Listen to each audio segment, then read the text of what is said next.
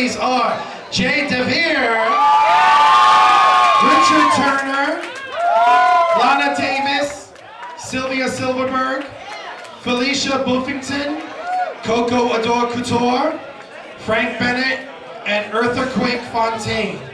And your winner, ladies and gentlemen, for Best Drag Comedian is Jade DeVere.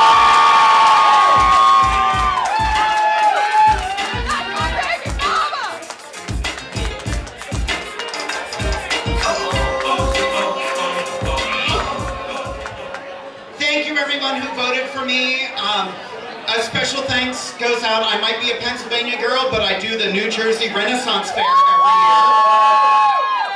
So thanks to all of them for helping me get this. And a special thank you to my drag mother Whitley, who was my toughest competition. It's not.